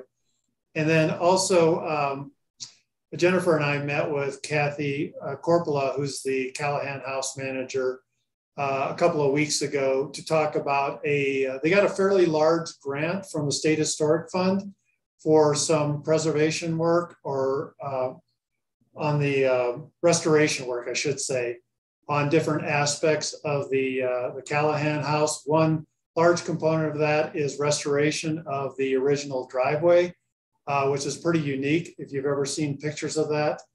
Um, and then also uh, some work on the stained glass windows as well, and a few other components. And we actually invited Kathy to come to the May meeting, uh, and she's accepted that just to provide kind of a overview of the Callahan House and then also talk a little bit about these restoration uh, uh, programs uh, that are kind of underway uh, with uh, grant funding through the State Historic Fund. I believe the grant that was received was around $180,000 and then the city provided $60,000 of matching funds for that work. So, um, so I'm sure, Kat, you could, you know, maybe at next month's meeting, uh, May, I think it's May 5th, you, we could talk about whether or not the, the commission's interested in, in having a tour of the Callahan House. And obviously there's other uh, city-owned facilities that are also uh, historic landmarks and several that are on the National Register, such as the Firehouse Art Center and then also the, the uh, Carnegie Library. Um, so, and then, yeah, so there's, there's a few other uh, city-owned historical landmarks as well, one being out at the Sandstone Ranch, the uh, Morris Kaufman House, which is the visitor center out there. If anybody of you have been out there, pretty pretty neat place. Uh, so aside from that, uh, just wanted to see if the commission had any other ideas or suggestions. You know, obviously staff doesn't have a lot of time to prepare, to prepare events, but if there's anything else that you're aware of that's going on in the neighborhoods, uh, whether that's historic East Side neighborhood or anywhere else in the community that might have something in relationship to historic preservation, um, yeah, just let us know. We can certainly uh, put that information on our website. Great. Thanks, Brian. Uh, Commissioner Kobe. Yeah. Um, I don't know if you're aware. Uh, I was involved. I basically made a tour of the historic East Side neighborhood. It's okay. a very involved tour. It's a three hour long tour. Is that I like Gilligan's it, Island? Yeah, yeah, exactly. That's what I thought of. But uh, it's not as disastrous as the SS Minnow. I did surveys, and I I got glowing reviews. Uh, people loved the tour. Um, it is very long, and it's not for everybody. But I put it online as well, and anybody can do the tour at any time in little bits. And it has a lot of history of Longmont in it and I've approached Eric Mason and uh, asked last year during the 150th celebration, can you advertise this with everything else? He said no, because the Historic East Side Neighborhood Association is, which technically I, I did it under that umbrella, um, is not officially part of the city. So there's no way that I can advertise this tour as being available um, right now that I know of without putting ads in the paper and at personal expense. And if there's some way we can put the get word out that this tour is available online, um, I mean, you just go to the Historic Eastside Neighborhood Association webpage, which is hina80501.org, and you can click on tour and you can see the tour. I have the whole script there. You can click on the map of the tour um, but I can't get the word out. And I'm not sure what I can do be, because everybody who's gone on the tour has said that they loved it and that they'd like to see more people go on it. But I don't know how to get the word out and make it official to get beyond that hurdle of being official. Yeah, thanks, Rick. I appreciate that. That I, I, I think Sharon might have mentioned that briefly to me that you did a tour last year, or the year before, and uh, so uh, yeah, let me check with, I know we've got a neighborhood resources coordinator. Um, I don't know, uh, like I said, I don't know if there's limitations on our ability to advertise other organizations, uh, tours or events, but uh, let me let me do some checking on that and see if there's any opportunities related to that. I know the, the, the, museum has a website that says you can take these tours online. If they could just add a line that says something like, uh, you know, we do not endorse this. This was a privately made tour, but here's another historic tour. You know, I mean, that just takes putting one more line on a website. I don't. Sure. Anyway, sure. I, well, I've given the tour to over 350 people, believe it or not. And it's amazing wow. that the responses I've gotten, well, they, they start with 350, probably half to three quarters making it to the end. but the ones who make it to the end liked it. So again, if we can get the word out, I think that's a resource. sure. Know, to, to get Thank you. Thank you. That's a histo. Maybe you should call it histo enduro. Um, Commissioner Goon, you had a question. Well, I was just wondering if, as a member of the Historic Preservation Commission, isn't he under the guise of the uh, town now? Couldn't that be a an official this is an official tour now. It's not. It's not just some some guy on Emery Street. Well, that that may be an in. I'll have to. I'll check on that. um, and Commissioner J- Jacoby, maybe I'll write you later. But I, I was wondering if you're very good at writing. Maybe an article for the Times Call about that. Um, you know, about the history of that uh, place over on 119 might be a worthy and we could all sign it for um, Historic Preservation Month. That might be something kind of exciting. I, I don't, people don't know that history. I, I, certainly didn't. I've lived here my whole life. I've taken tons of history classes in about Longmont, and I did not know that um, piece of property was that special. You, you're suggesting writing a an essay about Mary Dickens and the property out there, but then to say that it's going to be developed you know, that that's getting into a political kind of thing that I would, especially as a commissioner, I'm not sure I should be doing. I, I don't know. I don't know that you need to mention the development or, or anything. Just this is everybody's seen the place. Everybody knows what it looks like, and just leave it at that. That's this is the history of that place. Um, I, you know, it's just an idea, and I know I do not have time to to do do storytelling from the information that was given to us um, in the next month. So, and you're a good writer. Well, thank you. Um, I found my, I've written to the paper probably more often than I should. you may have seen if you read the editorials sometimes. But their acceptance is very variable. I'm not sure what they would, maybe I should talk to the paper first, see what they would want for that. Yeah, talk to John Vahlenkamp or somebody right. about a, an actual, you know, news, not a news story, but a human life and lifestyle story, you know, not a, not a letter to the editor, nothing, nothing political, right. but um, yeah. Maybe I'll give it a try. Any other, yeah, Brian, you've got. Oh, I was just going to mention, uh, I know that uh, I think History Colorado is putting together a calendar of events around the state for Historic Preservation Month.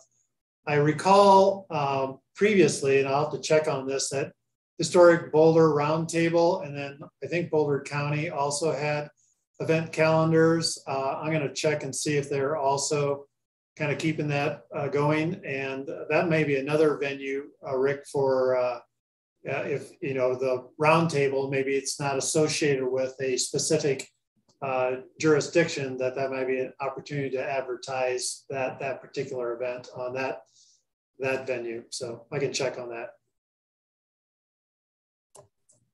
Great, thank you. Okay, uh, let's go on to item 8D, which is the our future HPC meetings. And uh, we had that little kind of online survey. Um, Brian gave us a kind of a summary uh, about that, but I guess at this point, we, you know, I, is there a desire for next our next meetings to be in person um, or continue online? So just a little background before you guys vote. Um, you know, it probably won't be for a month or two before we actually have the capability. If the, if the commission is interested in going back in person, there's some logistics behind the scenes regarding uh, uh, reservation of the council chambers. That that hasn't really happened for the boards and commissions for a couple of years with the pandemic. And then, uh, you know, there's probably some new training because there's new equipment since the council chambers was remodeled last year. So there'd probably be new uh, training on the on the equipment for the commission as well. So uh, I know that I think that the, for example, the planning commission may be discussing going back, but I think the earliest they might be going back is in June. So anyway, just just to preface it. Okay, thanks. Commissioners, any any thoughts on that?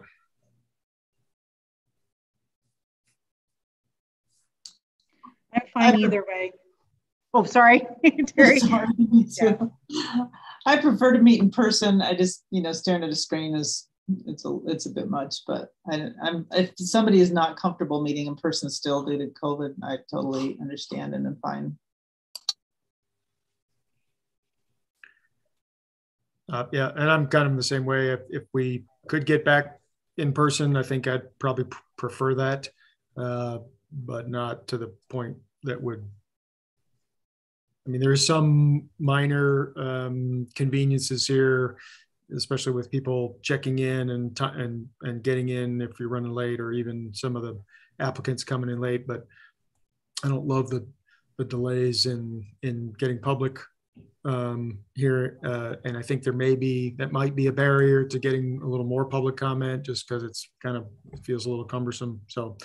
Uh, I, I I'd like to see us get back in person, but I don't need to push it too hard. For my part, I'm happy to meet you all in person. You know, I haven't done that yet. It's all been COVID. And as far as uh, public invited to be heard, Sharon can walk down to the meeting just as well as call. She she knows where they're at. Any other uh, comments? Then we probably uh, need a motion to uh, meet back in person if that's what the direction is. I move that we start meeting back in person as soon as it's allowable through the city staff and training and all of that. Okay. We have a motion. Do I second it. All right, we've got a motion by Commissioner Goon, uh, seconded by uh, Commissioner Jacoby for- to move back to in-person meetings at the earliest time that sort of works out for the city. Um, uh, Ms. Yost, would you call the roll for us? Chairman Lane, Uh, I vote yes. Commissioner Hardees, Yes. Commissioner Norton, Yes. Commissioner Goon, Yes. Commissioner Jacoby, Yes. Commissioner Sibley. Yes. Okay, great. Well, uh, I'll- we'll put it in hands of staff to let us know when that's the appropriate um, move and, and where we're going. Uh, So we would be back in council chambers because that work has been done and, and it's operational now. Because it was closed for a little while before we, before Right. COVID. Yeah, yeah, the, the remodeling's been completed and, you know, I know it, and on, on occasion, we met here at the Development Services Center uh, when we had special meetings and such, but uh, I think the normal location is in the council chambers. Okay, great. And whatever is appropriate in terms of uh, training, if it's, you know, I, I guess we can talk with uh, commissioners about it, but maybe it's a, a half hour early start to just get some technology training versus a whole nother session or whatever works. All right. Sure. Thank you. Okay, uh, and then our uh, last item under new business, 8E, is board recruitment and interviews. All right, so we discussed this a little bit last month as well and uh, provided some updates in terms of some documents that the city clerk's office uh, put together, uh, as well as uh, the kind of amended uh, rules of procedure of city council. Um, The city council is interested in getting input from the commission on the uh, uh, potential appointees for their particular commission. It's a recommendation. They're not making the, you know, the, the boards and commissions aren't making the final decision. Ultimately, city council make that final decision, but they are asking for a, the, each commission and board to interview the uh, applicants. um, and then also to make a recommendation on the applicants to the uh, city council. And so one of the uh, one of the questions for the commission was whether or not the commission would like to appoint a subcommittee of two members to do the interviews and then report back to the full commission, uh, or to interview uh, applicants as an entire commission at a at a meeting. Some and so we've got one one appointment, mid-year appointment that is being advertised for a vacant position. And so that would be one interview uh, only for the commission that would have to be conducted in the month of May. Uh, so we just have to coordinate that for that mid-year. So there'll likely, obviously, there'll be additional uh, end of year um, appointments as well, but this is just for the mid-year appointment that we need to do an interview in, in the month of May. Thanks. And just to clarify, this is moving completely from the city council members being involved at all to only the commission members, whether it's full or, or partial, making that first recommendation? Yeah, normally the, in previous uh, interviews, the, the commissions and the staff liaisons were not involved with the interviews at all. It was strictly council members interviewing the, the applicants. So this is a new layer that council requested to get input from the commissioners uh, as they make their decisions on potential appointees. Okay, thanks. Uh, any thoughts from the commission on an approach here?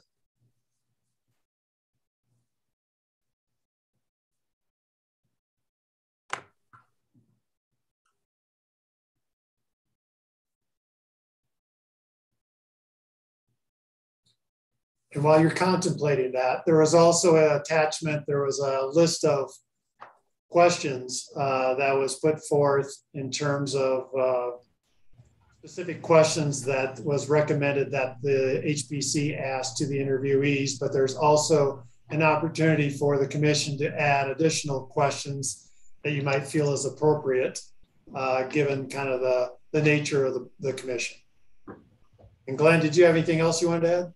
Yeah, I just wanted to add one thing. A, a, part of your decision should probably be based on how many applicants you have. If, if you get one applicant, I, we could just knock it out at your next meeting.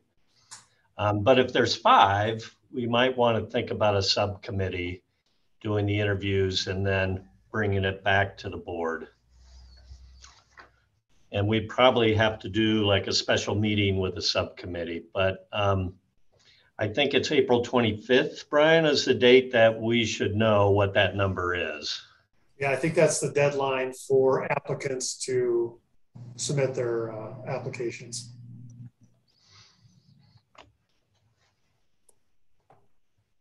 I suggest we hold off until May then.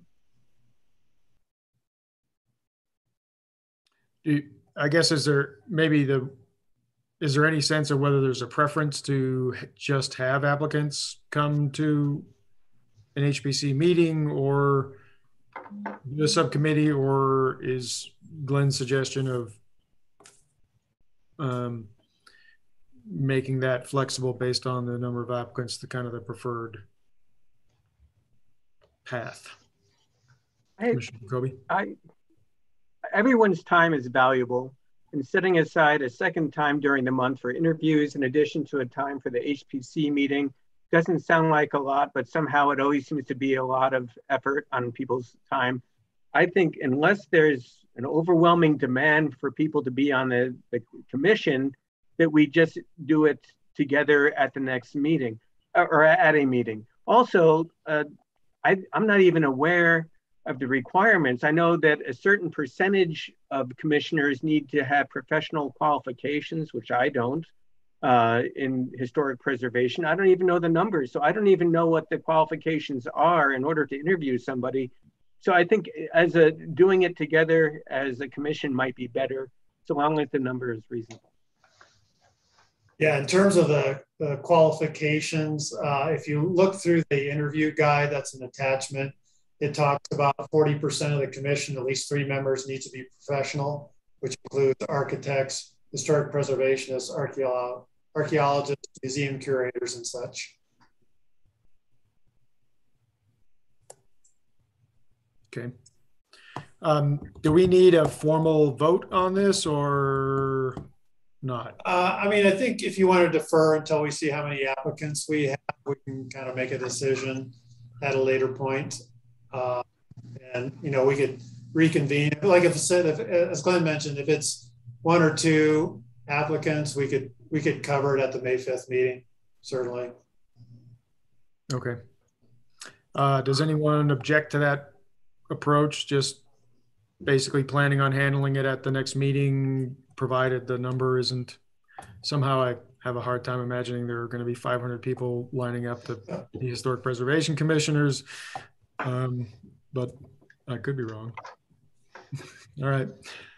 I think that's what we're, I think that's what we're leaning towards is, is handling it at the meeting, next month's meeting.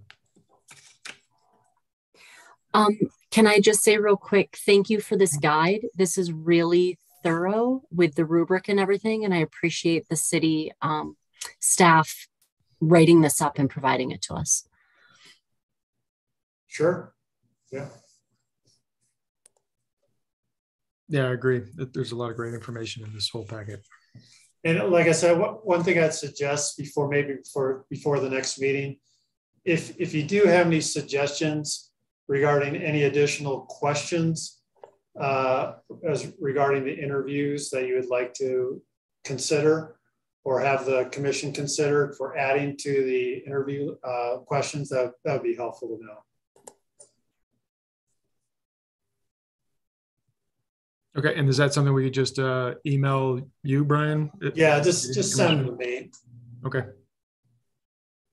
Did I see a hand up? Um, or no? No. Okay. All right. Take, I look away and then I look back and I try to make sure I'm catching everybody. That's the other reason why I wouldn't mind being in person. Can keep my head on a swivel here. All right. Uh, well, we'll go ahead and uh, close uh, that item of business AE and plan on um, addressing it at next month's meeting, most likely. Uh, all right. So then we're down to uh, comments from HPC commissioners. Are there any commissioners that would like to make a, a comment about anything in particular? I don't see anyone. Oh, Just a um, quick uh, one. Yeah. mhm. I just wanted to really apologize to everyone for uh, missing last month. It was a heck of a day. And so sincere apologies to everybody for not coming. No worries. Life happens. Um, I, I have one comment, and it was just kind of been twirling around in my mind here since the um, the those Latin uh, item, and I, I wondered, you know, we're we're all we had some discussions about we're all kind of working in this little vacuum, right? And we have this real, in, in case anybody hasn't figured it out yet, we've got this collective kind of hot button about you know this barn uh, being there. And, and i don't know if there's an opportunity for for for brian or for glenn to to find out what the temperature is in other parts of the city about this. I mean for example parks. I mean is is parks gonna you know is there an opportunity to say well you know potentially could we take some of that money that they're having to put in um, the, the hundred and forty thousand dollars and and you know split the difference and have some go to parks and some go to preservation. Would the city in any way be willing to take over um, preservation or maintenance of just a structure that's there? I think back to i don't know how it works and it's and it's not quite as iconic but you know there's that barn at the base of steamboat that's in every you know poster from this you know from the 60s on. And that thing doesn't do anything. It's just a barn that's sitting there. But but i guarantee you that anybody who's ever uh, proposed that thing going is met with a with a just a blast of public opposition. Again i'm not comparing the two per se but i am but that's an example of a structure that just is there because you know everybody got used to it and it became kind of this little iconic um, structure. So so it can't happen. So I'd just be curious to know because uh, I'm sure those folks are going back and, and grumbling about what we're what we're asking them to do. You know, it, are, is there support outside of this little group to to try to make this happen? And if that's something you could find out, I, I think we'd really appreciate it. We can have a certainly a more in-depth conversation with them and see if what possibilities there are that we Yeah. could bring to help that happen. Yeah, appreciate that. Um, that that's my only comment. Um, okay. Uh, next is uh, comments from City Council representative, but I don't believe we have Aaron on the on the meeting, uh, and so that leads us to adjournment. I will move that we adjourn. Right. Motion from Second. Commissioner Norton, seconded by Commissioner Hardee's to adjourn. All in favor, uh, say aye. Aye. Formalities in this one again. Thank you. Uh, thank you all. Thank you to staff. Appreciate your time and efforts here. Um, everyone have a good night.